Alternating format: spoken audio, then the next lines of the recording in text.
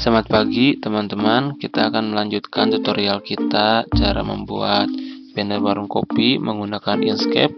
Tampilannya seperti ini bagi teman-teman yang mau, silahkan nanti tinggal lihat saja di deskripsi. Sekarang kita langsung saja pada tutorialnya.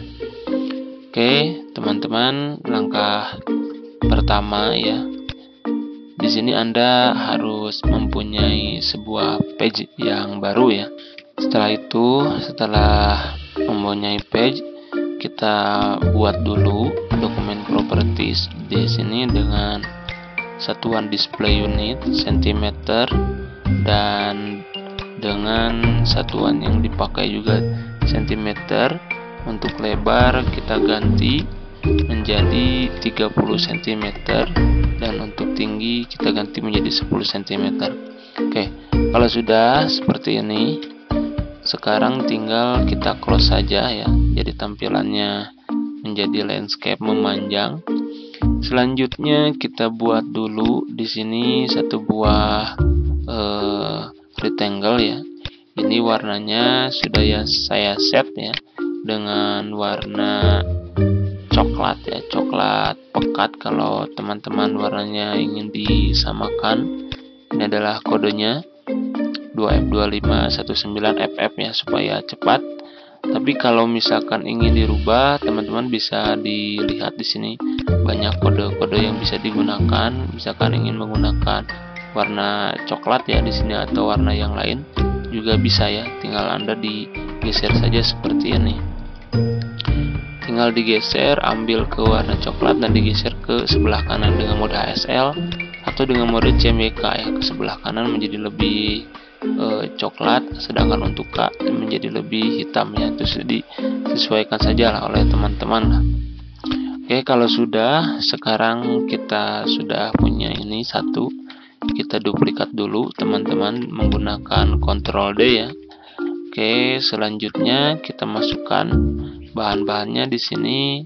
Kita memasukkan dua buah bahan ini. Yang pertama dari Pixabay dan yang kedua dari Pixir ya Pixir here ya.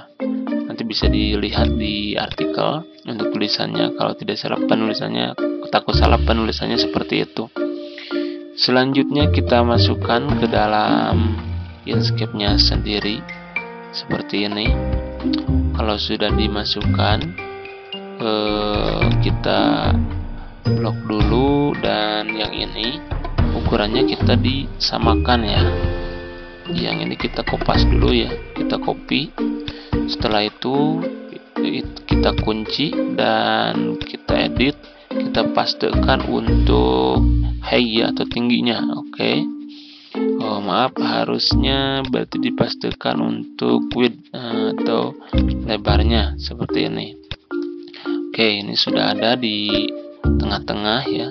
Teman-teman tinggal diturunkan ke bawah ya bisa di sini. Nah nanti yang ini klik dua kali ya seperti ini. Diseleksi keduanya klik kanan lalu di set klik. Oke kita sudah punya satu dan tinggal kita membuat gambar yang ini ya. Ini masih di dalam meja masih backgroundnya masih ada. Kita uh, perkecil maaf maksudnya kita buat uh, menjadi transparan ya menggunakan rectangle kita hilangkan untuk fillnya dan outline-nya kita munculkan ya. Kalau kurang jelas kita bisa ganti outline-nya menjadi warna merah dan fillnya kita kurangi dulu. Oke kita geser saja teman-teman. Oke ini ya seperti ini kita geser saja kita perbesar untuk bagian warna merahnya. Kita ambil kecil saja. Oke kalau teman-teman agak sulit bisa menggunakan arah di keyboard ya. Setelah itu karena di sini ada tonjolan kita ubah menjadi object to pad ya. Oke kita lihat dulu sini kan. Nah di sini bisa ganti object to pad oke. Lalu diklik di bagian ini. Di bagian tonjolan ini juga sama. Diklik lalu kita naikkan ke atas. Ya seperti ini. Selanjutnya kita bisa buat simetris ya. Di sini handle-nya bisa dimunculkan supaya kita lebih mudah juga ya. Oke. Seperti ini kalau sudah semua mengelilingi kita coba dibuat 0,1 oke bisa kelihatan ya. Nanti teman-teman tinggal dirapihkan saja ya supaya tidak terlalu banyak keluar. Atau bisa lebih diperkecil juga. Oke seperti ini kurang lebih teman-teman. Sekarang kita lanjut di seleksi keduanya hal yang sama klik kanan lalu set clip. Oke kita sudah punya ya sudah punya dua buah e, objeknya. Sekarang kita buat backgroundnya background dari e, ini ya untuk gradasinya. Caranya teman-teman bisa menggunakan mesh tool ya. Di sini kita bisa masuk mesh tool. Di sini ada nomornya kita masukkan 7 atau sekian lah bisa 8 bisa 10 tergantung dari kebutuhan. Jadi ini adalah jumlah kotak pertemuannya ya atau garis pertemuannya. Ketika diklik jadi semuanya seperti ini. Oke karena di sini kita akan menggunakan warna yang tadi ya yaitu warna nah, yang ini. Kita lihat filenya dulu. Nah ini warnanya tinggal diingat saja ya warnanya kita copy paste aja dulu copy paste aja dulu. Lalu kita masuk mesh kembali ya. Kita tinggal di drag saja seleksi semuanya. Lalu kita eh, yang ini ganti ya pastikan yang tadi. Oke ini sudah menjadi mesh walaupun masih solid.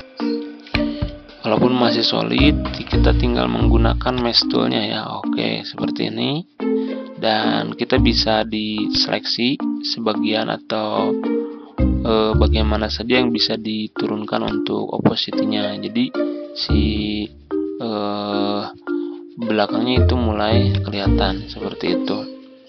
Jika sama nanti teman-teman ini tinggal disesuaikan saja mana yang ingin diberikan posisi gradasi yang paling transparan atau dengan solid yang tebal ya seperti itu. Oke kira-kira seperti ini yang sebelah kanan ini eh, terlalu tebal. Eh, maaf saya terlalu tipis ya. Tinggal kita di warnanya ini mesh tool. Tinggal kita ditambahkan saja. Ya kalau sudah kita simpan ini di atas di bagiannya. Selanjutnya kita buat lagi dalam untuk membuat garisnya. Kita copy dulu ya yang ini. Lalu kita buat di sini ini solidnya atau positnya lalu kita pastikan ukurannya paste size ya. Lalu kita ubah menjadi warna putih ya. Warna putih dan solid uh, filenya kita hilangkan kita simpan di tengah ya. Ini ke page ya ke page untuk lain dan distribusinya. Oke seperti ini. Dan untuk di, uh, ketebalannya teman-teman bisa disesuaikan. Kita ubah di sini menjadi dynamic offset ya menjadi efek dynamic offset kita perkecil. Oke, jadi memang di sini kalau misalkan teman-teman susah untuk snapnya ya, bisa kita atur di file eh, dokumen properties. Lalu ada snap, snapnya kita kurangi saja. Oke, kita turunkan jadi lebih nyaman lah, lebih enak lah untuk mengaturnya. Oke, seperti ini. Kalau menggunakan dynamic offset itu karena ketika mengecilkan kita menggunakan scale ya jadi scale-nya itu sama untuk bagian atas bawah dan kiri kanan ya. Beda dengan memperkecil secara manual ya. Jadi kita menggunakan scale oke perbesarannya jadi eh, lebar dari kiri kanan itu sama. Kalau sudah kita break ya di break apart ya. Jadi eh, sudah menjadi bentuk semula dan kita tinggal ubah kembali menjadi stroke to pad ya to pad itu eh, si objeknya itu menjadi si outline-nya itu menjadi fill atau menjadi objek. Jadi punya fill sendiri punya outline sendiri. Oke kalau sudah teman-teman tinggal kita masukkan deskripsinya. Di sini sudah saya siapkan untuk deskripsinya supaya tidak terlalu banyak menyita waktu ya teman-teman. Hal-hal yang penting saja. Kita copy saja lalu kita pastikan di sini. Kita tarik oke. Okay untuk barcode kita simpan di sebelah kanan. Seperti ini. Sedangkan untuk tulisan semuanya yang ini kita uh, grup dulu. Iya kita turunkan dulu ke bawah sedikit tulisannya juga sama. Yang belakang kita lock dulu. Ikut-ikutan. Oke seperti ini. Terus untuk propertinya ya di sini ada properti teman-teman. Sedikit untuk properti tulisan ya oke seperti ini. Dan untuk tulisannya di sini jenis fontnya. Saya menggunakan tulisan lobster ya. Ini dari Google Font. Bisa dilihat nanti license-nya OFL jadi boleh digunakan.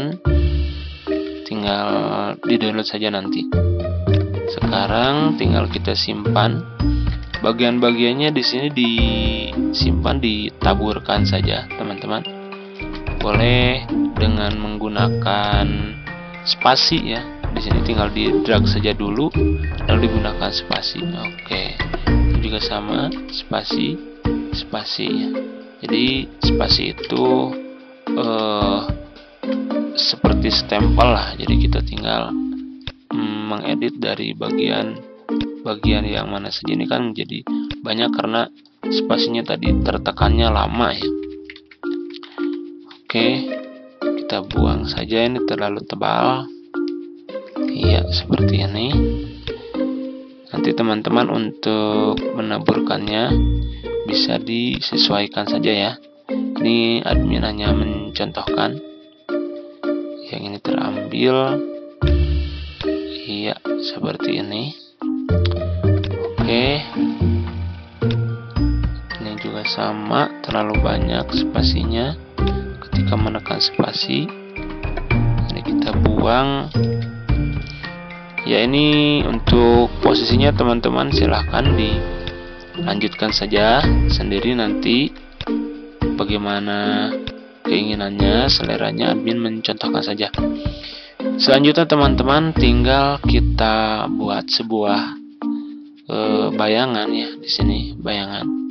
Kita kontrol D dulu yang ini bisa seperti ini. Caranya jadi ini tinggal di blur saja ya. Oke, seperti ini tinggal di blur. Hanya dalam posisi blur ini ini masih dalam dalam set clip. Jadi blurnya itu di dalam dan masih ada batasannya seperti ini jadi tidak bisa keluar untuk blurnya. Caranya tinggal kita edit lalu make a bitmap ya. Seperti ini. Ini jadi ada tiga ya. Yang ini masih bisa dirilis seperti ini. Yang awal sedangkan yang depan yang di make a bitmap itu tidak bisa dirilis alias jadi gambar bitmap secara mandiri Oke, jadi ini ketika di blur bentuknya seperti ini. Jadi tinggal kita turunkan ke bawah saja menggunakan control back down atau menggunakan ini. Oke, seperti itu. Itu untuk bayangan dengan bentuk yang sama. Ah, maaf, maksudnya dengan warna yang sama. Kalau menggunakan bayangan dengan uh, warna hitam, kita bisa menggunakannya. Yang ini kita duplikat dulu ya. Lalu kita rilis ya. Kita rilis. Oke yang eh, part yang kita buat tadi kita turunkan. Dan ini kita buang. Nah ini kita kasih blur. Sama dengan yang lain. Dengan yang tadi yang barusan. Turunkan ke bawah.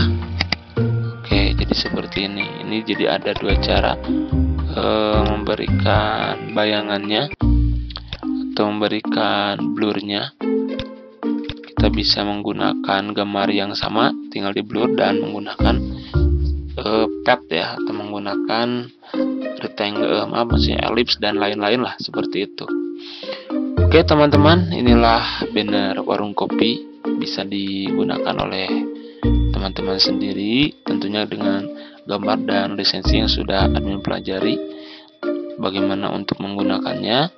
Terima kasih, silahkan di download dan mudah-mudahan bermanfaat. Salam belajar